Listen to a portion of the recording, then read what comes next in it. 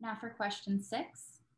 If we haven't seen any cardiac involvement in early tests, do we need to see a cardiologist every year? So individuals with Bardet-Biedl syndrome are more prone to some congenital heart disease, such as holes in the, the in the, the, what's called the septum of the, of the heart or the ventricle or the of ventricle of the heart, or some other more complex heart disease. That should be picked up early on. So, so if they've had a thorough cardiovascular evaluation as a young child, then that's that's good. The individuals with BBS, although do have a higher rate of getting thickening of the heart muscle called left ventricular hypertrophy as they age, usually as a consequence of high blood pressure. Um, so my general co comment to people is that they should see a cardiologist at least once during childhood.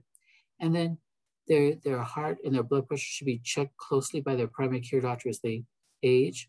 Um, if they start developing high blood pressure or thickening of the heart muscle, which would have to be seen by a cardiologist, then that, that would mandate further cardiac evaluations. But annual evaluation of the heart by a cardiologist is not usually necessary. Question seven, does everyone with BBS have a learning deficit, other cognitive impairments, neurological or psychiatric issue of some sort?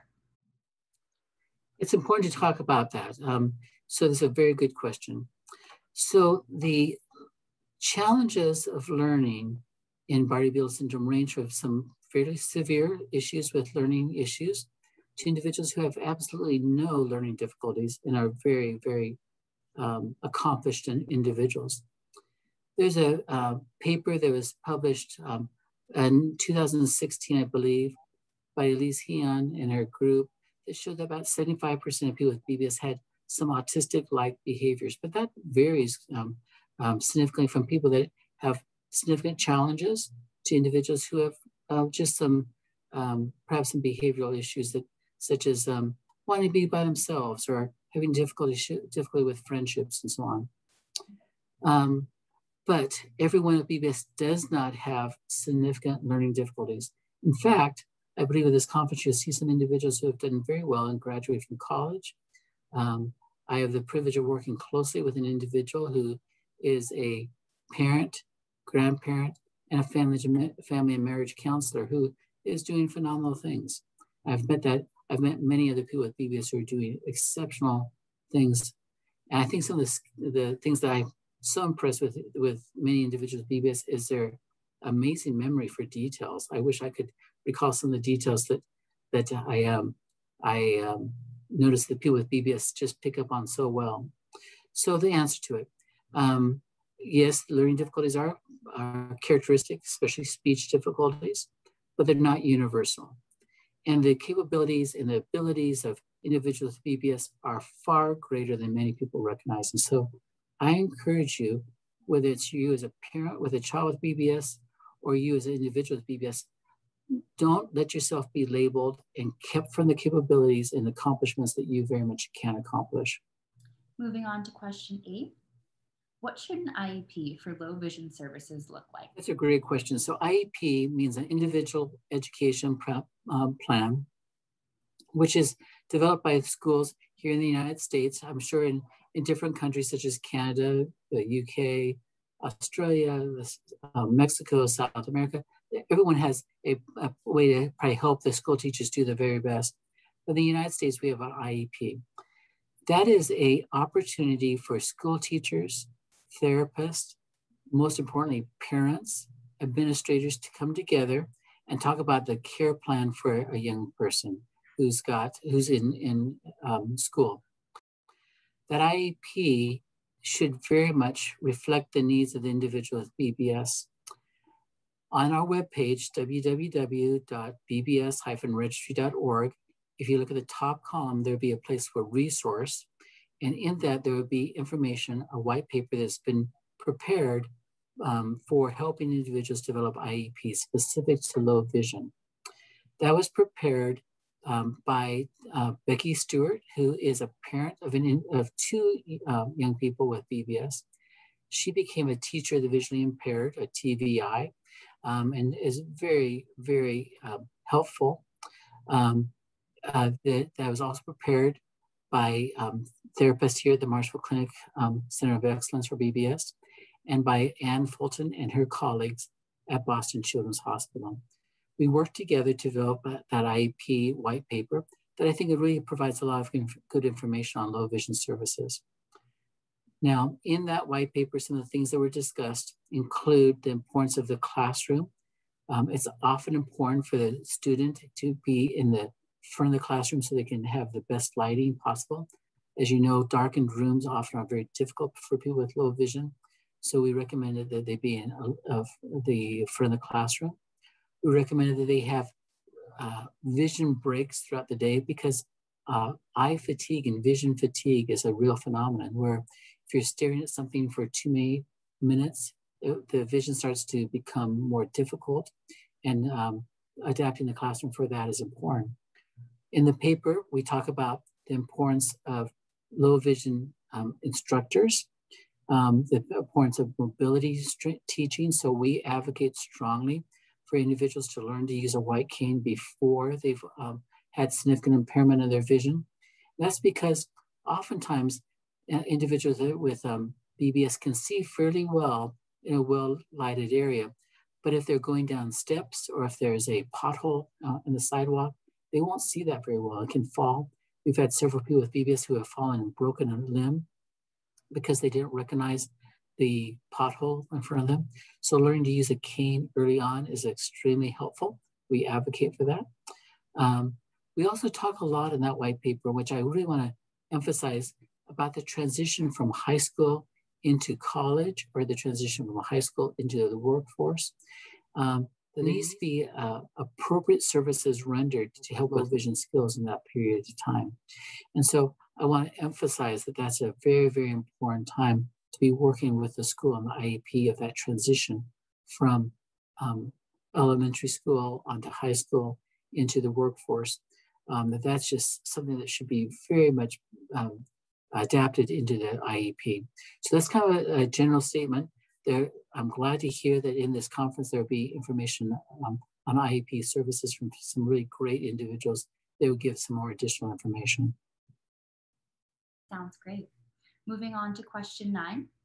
What should my doctor consider when my child has chronic abdominal pain? Important. Now that kind of has some issues that come with a with um, depend on the age. So in young children, especially uh, children that are having difficulties with with having constipation or they're just not having bowel movements at all as babies, there's something that's called Hirschsprung's disease. Hirschsprung's disease is much more common in BBS than in the general population re represents a lack of nerves that cause the bowels to push the stool out um, that are uh, absent in the bowel and can lead to severe dilation of the bowel and require surgical intervention for that. And so if it's a young child, I strongly encourage them to be seen by a gastroenterologist and in some cases by a, a pediatric surgeon. But having said that, it's interesting that I, I find that constipation is almost universal in Bardet-Biedl syndrome. And so a effective treatment plan for constipation is very important because that abdominal pain in many cases can be due to severe constipation that needs a clear and well-developed plan for the treatment of constipation. And that plan will need to be changed periodically because one plan does not fit all. It's also important to recognize that there's some other things that can be lurking and can be missed as you as you deal with just constipation by itself. Celiac disease, which is a gluten intolerance, is more common in BBS. That's an autoimmune type phenomenon. So please make sure that your doctors are thinking about celiac disease as part of what we do in our center. When people come to the clinic, at least annually, we screen for celiac disease because it surely is there. We surely identify it on a regular basis. Ulcerative colitis and Crohn's disease are also two um, types of um, what we call inflammatory bowel disease that seem to be more common in, in Bardet-Biedl syndrome. And so I encourage individuals that are having significant persistent abdominal pain that they be seen and evaluated. That usually require endoscopy or, sigma, or, or, or colonoscopy to make a diagnosis of that. But those are conditions that are more common in Bardet-Biedl syndrome. As individuals get a little bit older, we start worrying about other things that can happen other than intestinal problems. And, and one of those includes gallbladder stones or cholelithiasis. Cholelithiasis is definitely more common in Bardet-Biedl syndrome and needs to be thought of. And so people that are having abdominal pain and potentially having um, gallbladder stones need to be considered and, and treated if it's present. I want to point out something that is important for your doctors to remember. And that is, is that the position of the organs in the abdominal cavity can be abnormal in Bardet-Biedl syndrome. That's called heterotaxy. And that needs to be recognized as a finding that can be present. And so, so you want to make sure your doctors know that abnormal positioning of the intestinal, uh, the abdominal contents can be present. Uh, using the data from the CRIBBS registry, we are able to publish a paper about that. That um, if you're interested in knowing about that, I can surely, if you want to send me an email, I can sure send a copy of the paper to you that you can share with your doctors because I think it's important for them to be recognizing that as well. So that's a, a very broad coverage about abdominal pain. The bottom line is it's common. It needs to be carefully evaluated and, and fully treated if it's present in your child or in you. Now for question 10. What is on the horizon for therapies for BBS? And will the therapies help me or my child? That is so exciting and so important to talk about. In last year's um, conference that's still on YouTube and available for you to review, you'll see many of the, the breakthroughs, but I'd like to talk about those for a few minutes. I want to start with the importance of the clinical registry investigating Bardet-Biedl syndrome or CRIBBS, because that has made possible some of these exciting opportunities as things will come forward. So what's some of those opportunities? Well, we mentioned one, setmelanotide, I think is a is the first targeted therapy specific to Bardet-Biedl syndrome. And so in other words, that drug would not necessarily work very well for the average person that's battling hunger, um, obesity, and, and the like. It works very well for Bardet-Biedl syndrome because it addresses the exact pathway defect that we see in BBS. And so that's right here on the horizon. I told you earlier in this, in this discussion that that medication should be available in the United States by spring of 2022. I hope it will be available in Canada, Europe, South America, and other countries throughout the world, such as Australia and the like. Um, in the in the coming year or so. I think it's a it's a breakthrough therapy. What else? Um, um, so many individuals enjoyed the, the presentation by Dr. Arlene Drack from last year. Unfortunately, that's not on the YouTube site any longer. But Dr. Drack gave some wonderful insight into how gene therapy might be available for individuals with BBS. Now, this kind of gets to the importance of knowing what your BBS gene is because gene therapy will have to be specific to that gene. But I anticipate there will be new breakthroughs as far as treating the eye disease and BBS from the different genes. Um, already we see a, a, a, different genetic disorder, a different form of retinitis pigmentosa um, called Leber's congenital amaurosis that has a gene therapy for at least one of its gene that's commercially available. So I think you'll see gene therapy coming of, of very much into the care options for people with BBS in the near coming years. Very, very much, much possible for that. What's else is down the road? I don't know, but I can tell you that the, the, the pharmaceutical companies and other um, like-minded industry is very, very interested in BBS. And why? Partly because the BBS community is so united and so interested in working together. I, as I started the, the, to participate in the setmelanotide trials back in 2017, I was amazed how many people wanted to do it, not just for their own benefit, because they wanted to make a difference for the BBS community. And I just, I hats off to the BBS community because I know that you want to make a difference and you're willing to, to step forward and say, I'll try, I'll be part of that trial.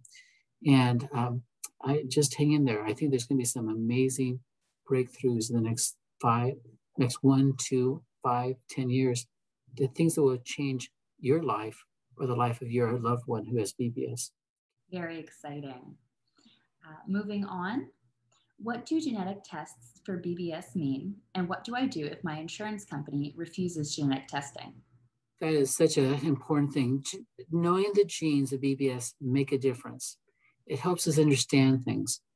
It comes from, from people that have very common BBS genes, such as BBS1, that affects 30 to 40% of BBS population, um, to rare genes that may only affect one or two people. Why is that important to know?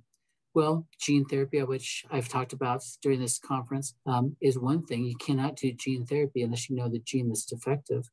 And so that's one very important reason for it. Secondly, I really do believe that you have the ability to go back to your doctors and say, there is now targeted therapy specific to BBS that we need to know if we've got BBS or not.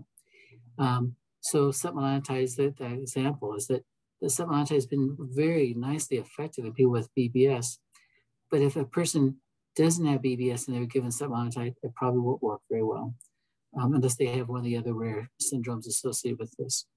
And so knowing the gene helps the, the insurance company know whether they can, uh, whether setmelanotide is going to be a valid drug for them. It's also going to be important for other reasons than that.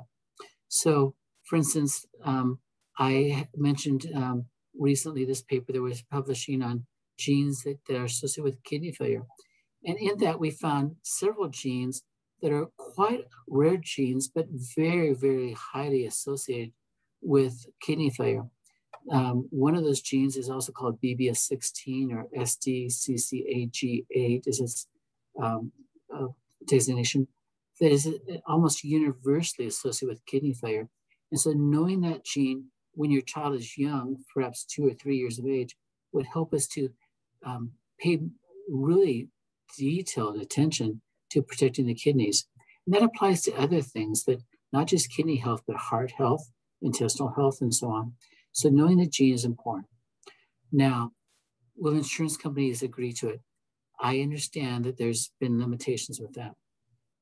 Um, if your doctor practices in the United States, Rhythm Pharmaceuticals is providing free genetic testing for people with certain situations, especially obesity, even into adulthood. Um, so there's some ways to get the gene genetic testing done for free, but sometimes it's still not possible. And in those cases, I um, encourage you to meet with your doctor, meet with a geneticist, and see if they can't write a letter specific to your insurance provider saying the importance of genetic testing. Now, I understand I practice in the United States and it might be a little bit different in other countries, but I still think that that's very, very possible with appropriate arguments given to the insurance company to explain why it's important for genetic tests to be done. If you're having difficulties with that and you want to contact, reach out to me. I'd be happy to work with your provider in any country to give them information about why genetic testing is important. Can't promise it's always going to work. Can't promise that I have infinite amount of time to to solve every problem. But I'm happy to go to bat for you and help out. Great. Final question What should I know about dental care and BBS? That is such a great question. Um, I keep referring to the website www.bbsregistry or bbs-registry.org. In that, there's a wonderful, wonderful um, um, information on, on dental health part of that was helped by one of the parents, Steve McLaughlin, who um, is a dentist who really spurred us on to kind of say, what can we do to improve dental health for Bardet-Biedl syndrome? And so um, that website, um, uh, that information is on the website. Uh, if you go down the, on the right side of the page, you'll see um, one of the tabs is about dental health and BBS. So what are the issues of BBS and dental health? Um, one is um, the oral cavity tends to be a little bit more narrow. The, the palate is a little bit higher arched, um, which can lead to some dental uh, malocclusions. Teeth can be widely spaced or can be um, uh, packed in. So there's, there's a misalignment of the teeth. Um, the dental roots can be shortened compared to where they should be. There can be increased dental irritation or periodontal or gingivitis, um, which can occur in it. So it's so important that you get good dental care on a regular basis. The dental cleans are done, flossing whenever possible, if as, as your child cooperates or as you do it for yourself, can really be very helpful. But I definitely encourage annual evaluations of your teeth because it's so important to be done. We know that dental health affects systemic health. And so poor dental care results in increased risk of heart disease and kidney disease. And so I strongly encourage everyone who's participating in this um, to get regular dental care. It will affect not only your teeth and your, your satisfaction with your, your dental health, but also your cardiovascular health your, and your kidney health are affected by it. So it has a lot of benefits to you to take care of your teeth. It's been a, a pleasure to speak with you, and I hope that this information that I've shared with you today will be something that will help you as you take care of yourself or your loved one that has Bardet-Biedl syndrome. There's so much growing knowledge that's there that's available to you. Now, I've said several times during this presentation that you can reach out to me. And so let me give you a couple ways you can reach out to me. One is through the, through the CRIBBS website, which is www.bbs-registry.org. You can also reach me by uh, contact me at my email address, haws, H-A-W-S, dot robert at Marshfield Clinic, which is M-A-R-S-H-F-I-E-L-D org. Now I know that sometimes people have emailed me. I promise to get back with them and I, I get forgetful and I don't do that. Feel free to email me. Again, I'm happy to try to help you to the extent I can and work with you. With you. Um, we have a great program here at the Marshfield Clinic, but there's also great programs throughout the world. And we're happy to work with your doctors, your therapists, your school teachers to try to provide the best help possible for you. So thank you very much and feel free to reach out to me.